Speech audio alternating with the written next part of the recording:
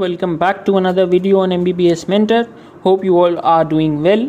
So, in this video, we'll be discussing about respiratory acidosis and respiratory alkalosis.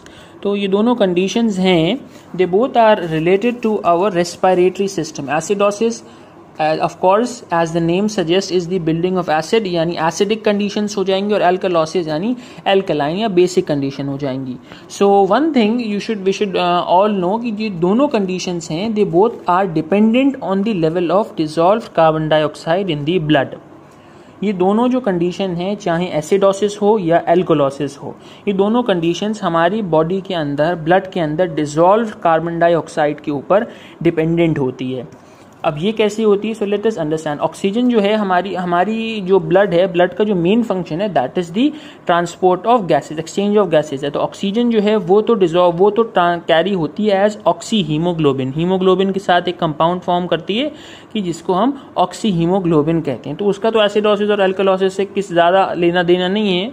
मगर carbon dioxide जो है, वो transport तो bicarbonate की फॉर्म में होती है।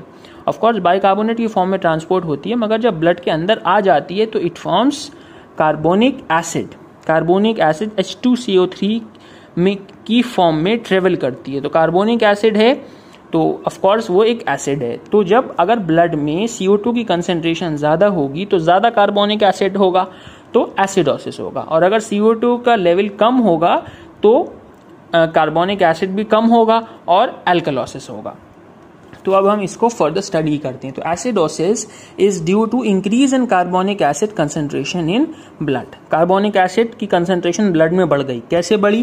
कार्बन डाइऑक्साइड का कंसेंट्रेशन ब्लड में बढ़ गया और फिर उसकी वजह से एसिडोसिस हो गया। इसकी एक कॉज एक वर्ड में समराइज करें हम तो that is hypoventilation hypo और हाइपर एल्कलोसिस में हाइपर वेंटिलेशन होता है और एसिडोसिस में हाइपो वेंटिलेशन होता है। हाइपो यानी कम वेंटिलेशन, यानी सांस कम लेना। So for example so let us understand it हम सांस कम ले रहे हैं। हम सांस कम ले रहे हैं, हमारी बॉडी के अंदर ऑक्सीजन कम जा रही है।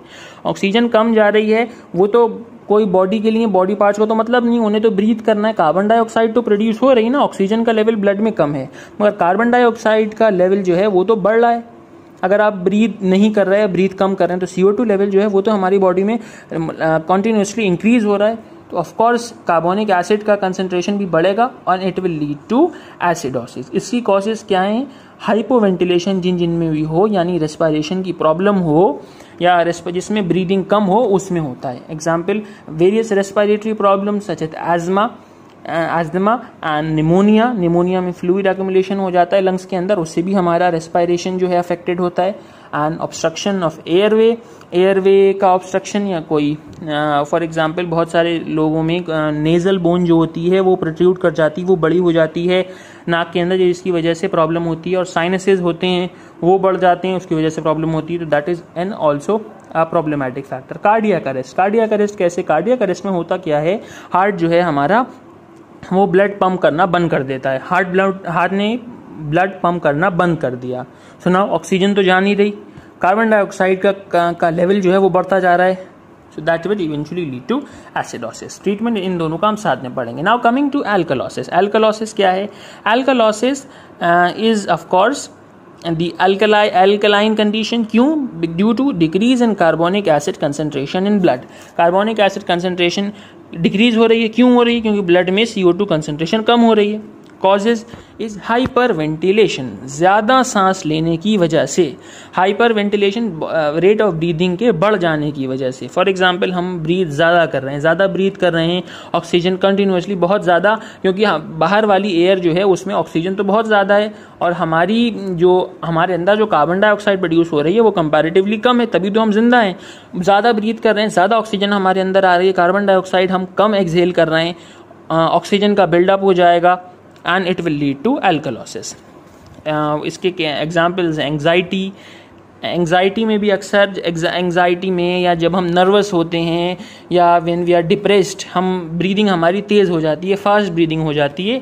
So that is an example exercise after math exercise करने के बाद, क्योंकि एक्सरसाइज के दौरान तो हम बहुत ज़्यादा ऑक्सीजन एक्सरसाइज के दौरान हमारी हार्ट बीट बढ़ जाती है, ज़्यादा ऑक्सीजन बढ़ जाती है। मगर उसके साथ साथ इनटेक भी बढ़ जाता है, क्योंकि एक्सरसाइज कर रहे होते हैं मसल्स उतनी ऑक्सीजन ले लेते हैं। मगर एक्सरसाइज के फ़ौरन बाद हमारी रेस्पायरेटरी जो रेट है, उसको नॉर्मल होने में वक्त लगता है, क्योंकि अब एक्सरसाइज तो बंद हो गई, मगर ब्रीदिंग हमारी अब भी फास्ट है यूटिलाइजेशन हो नहीं रहा ऑक्सीजन का बिल्डअप हो रहा है सी ओ टू लेवल कम हो रहा है। इज़ अनीमिया एनीमिया अनीमिया में भी यही होता है because blood blood is affected anaemia में blood is affected so that's why alkalosis होता है इसमें and another is increase intracranial pressure इस इस केस में भी एल्कोलोसिस होता है। नाउ ट्रीटमेंट क्या है? ट्रीटमेंट दोनों कंडीशन का सेम है। It is autoregulation by the kidneys दोनों ही कंडीशंस में द किडनी दोनों ही कंडीशंस में the kidneys do the autoregulation कैसे करती हैं? For example in acidosis acidosis हो गया। एसिडोसिस में देर इज़ अगर एसिडोसिस है यानी हमारी बॉडी में कार्बन डाइऑक्साइड की कंसनट्रेशन बहुत ज़्यादा तो हमारी किडनीज क्या करती हैं? बाइकार्बोनेट आइंस का एक्सक्रीशन कर देती हैं। क्योंकि मैंने आपको पहले बताया था कि carbon dioxide is transported majorly as bicarbonate ions तो बाइकार्बोनेट का एक्सक्रीशन हो जाएगा नॉर्मल हो जाएगा। एल्कलॉसिस में क्या होगा? एल्कलॉसिस में इसका वाइस वर्सा होगा, यानी उल्टा होगा। कार्बन डाइऑक्साइड बाइकार्बोनेट आइंस का रीएब्जॉर्प्शन हो जाएगा या एक्सक्रीशन सिलेक्टिव और कम हो जाएगा। So that is simple explanation of acidosis and alkalosis so ये एग्ज़ाम के पॉइंट ऑफ़ व्यू से इंपॉर्टेंट है और uh, स्पेशली वाइवा में एग्जामिनर ज़रूर इस बारे में आपसे पूछते हैं कि एसिडोसिस और एल्कोलोसिस क्यों होते हैं और इनकी वजह क्या है। So you have to remember this hyperventilation and hyperventilation you have to remember these two terms and please you not get confused so that's all for today hope you understood the concept and you enjoy this video if there is any query कोई query है या कोई suggestion आप देना चाहते हैं so please write us in the comment section और you can mail us to our mail I D that is provided in the description box so uh, that's all for today. Like share comment and subscribe to mbs mentor. Goodbye.